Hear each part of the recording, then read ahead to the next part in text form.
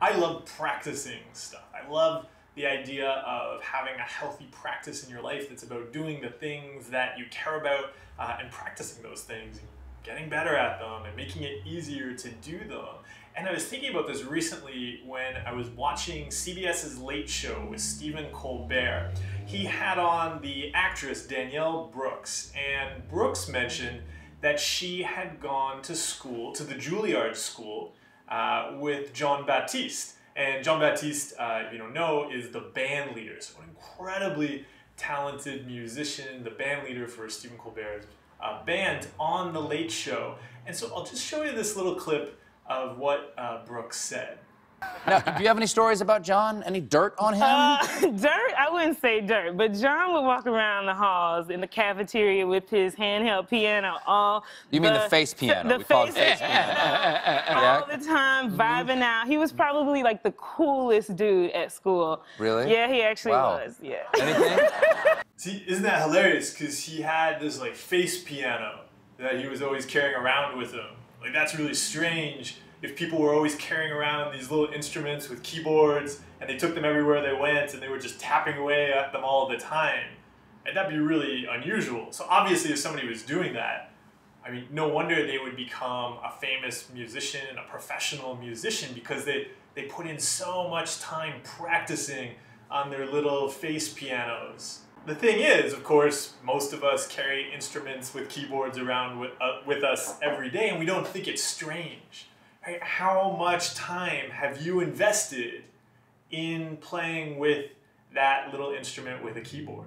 Whether you found value with that practice or not, I leave entirely up to you. I mean, these are absolutely amazing instruments. Uh, I use it all the time. It is a way that I can express myself. It's a way that I can do the work I do with people all over the world. So I think these are amazing, but this is also a tool I use to do the thing that I'm really passionate about.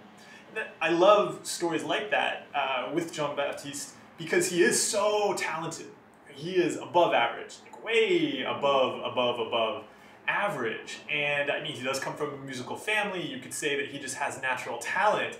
But you see in that story that he practiced and has practiced and has practiced for years on the tools of his craft and that produces results. But that level of practice is not unattainable or out of reach for us. I mean, I, I know when I struggled with, especially online compulsions, I used to struggle with all sorts of issues uh, online. Uh, I would invest hours every day. Like that was just that was just normal.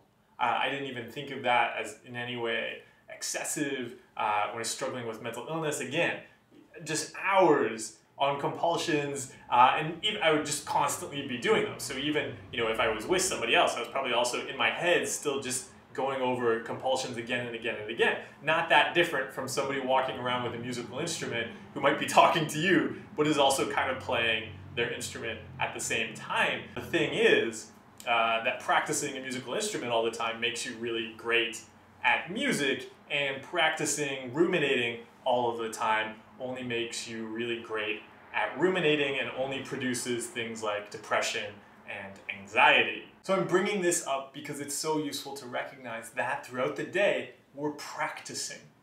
Right? So what are you practicing? Because that is something you're going to become skilled at.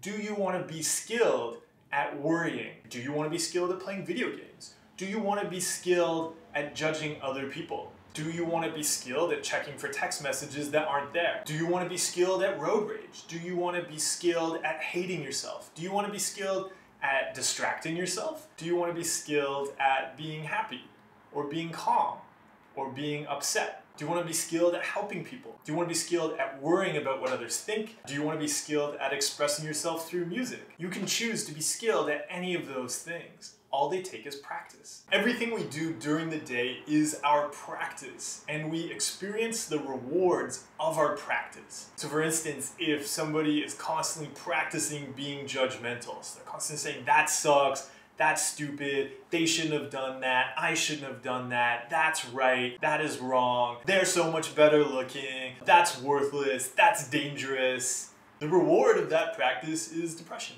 It's a totally natural outcome. If you just spend all day telling your brain that's bad, that's bad, that's bad, that's bad, that's bad, of course your brain is gonna go, oh, okay, every, everything is bad. we experience the totally natural outcomes of our practice. If we practice making ourselves upset all day, we will make ourselves upset. If we practice making music all day, we will make music. When it comes to taking care of your mental health, if you don't like the results you're seeing, it's worth asking what you're practicing because it's probably the practice that needs to change. What's great is that is something that we can control. We often can't control the outcomes of our practice, but we can make changes in our practice and we can get support from our friends, we can get support from professionals, we can get support from the community to create a healthy practice that produces the results we actually want to see in our lives. So happy practicing in each moment of your day uh, with whatever you're passionate about, with whatever matters to you. Maybe it's about getting a great face piano that you can play all the time,